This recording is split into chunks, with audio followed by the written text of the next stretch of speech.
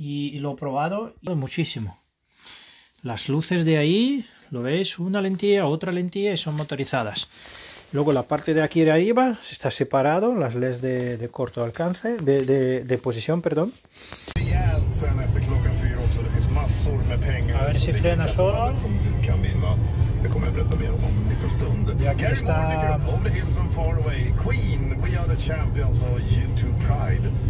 está activado con, con radar, Adaptive Cruise Control. Y nada, y lo mantiene la distancia, lo programas tú, está genial.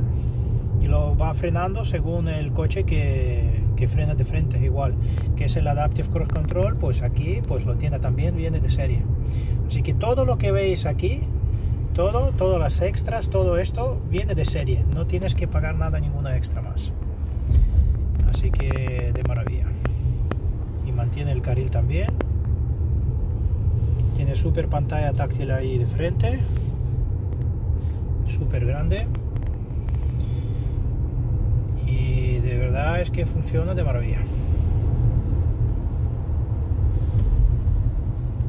aquí lo que quiero comentar, eh, que mirar, llevo desde North Shopping, eh, conducimos eh, unos 30-40 kilómetros, nos quedan todavía unos 50 más, que son 95 en total, y en ningún momento se me ha parado el Cruise Control, Adaptive Cruise Control. En este coche casi no estoy tocando el volante, va solo, he programado una velocidad, he programado eh, que mantenga las líneas, por más que no se ve las líneas que está con la nieve, que ahora le enseño en la imagen, pero el caso, el caso es que en ningún momento se me ha bloqueado, en ningún momento eh, me ha saltado, en ningún momento me ha obligado a poner las manos en el volante como en el Tesla o cuando pita cuando cualquier otro coche que coges este entra directamente al carril de la derecha solo no, no, no, se, no, se, no se corta el Adaptive Cruise Control funciona de maravilla. Cuando había un atasco en la carretera de frente pues eh, no, no ha parado solo ha arrancado solo cuando tuvimos que parar, no, no se ha bloqueado y va solo. es flipante. Eh, como, como, no sé, es, es impresionante. En ningún momento, mirar, yo llevo las manos aquí y en ningún momento me, me ha pedido poner las manos en el volante. No sé si en algún caso y estamos de noche, está nevando, ha empezado a nevar y es impresionante. Es impresionante con cómo, cómo actúa este. Es que ya se nota que es un Volvo, la tecnología de Volvo que lleva. Y nada, me ha impresionado mucho este coche, me ha impresionado muchísimo. Y eso con 17 kilovatios que tiene con la carga tipo 2, que puedes cargar en casa o puedes cargar si tienes el cargador tipo 2 o eh, también a través de Chuco.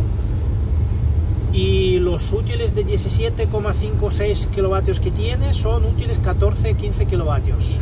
Así que es como digamos como un Chevrolet Volt Opel Ampera lo que sí que no lo es no es un rango extendido pero tú puedes ir con el hook 100% eléctrico y también combinar. Eh, combinación en en la autopista, en la autopista híbrido, son entre 3 y 5, 4 litros a los 100 de gasolina eh, combinado, pero tú puedes ir fácilmente en autovía, en puro eléctrico, a unos, a unos 40, 50 kilómetros en invierno que hace aquí a 0 menos 2 grados si vas en poblado puedes ir entre 60 y 80 kilómetros en puro eléctrico fácilmente. Ahora, ahora me está, ahora, ahora que me ha pedido por primera vez, por primera vez habéis escuchado el pedido, por primera vez en los 40 kilómetros me ha pedido a coger el volante. Así que es impresionante. Que este es el radar. Este radar, ¿os acordáis que esto de aquí, sociedad, esta, esta nieve de aquí y la sociedad, si vais a tener esta sociedad y la nieve ahí, tenéis que salir, os va a dar fallo. Y, y para ver más, suscríbete, suscríbete al canal. Habrá más noticias sobre movilidad eléctrica. Sí, que hace frío. Y la mantita de Ikea, para uno que hace ases hueco, sí que hace falta. Nos vemos en el siguiente vídeo. Hala, dale a esta campanita. Chao, chao.